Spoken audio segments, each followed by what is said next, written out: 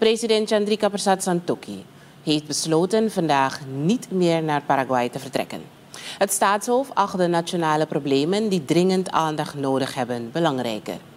Santokhi zou een bezoek aan dit Zuid-Amerikaanse land brengen in het kader van de Mercosur en Prosur Summit.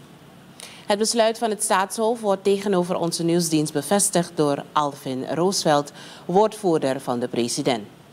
Roosveld geeft aan dat brandende issues op nationaal vlak altijd prioriteit hebben boven de internationale betrekkingen.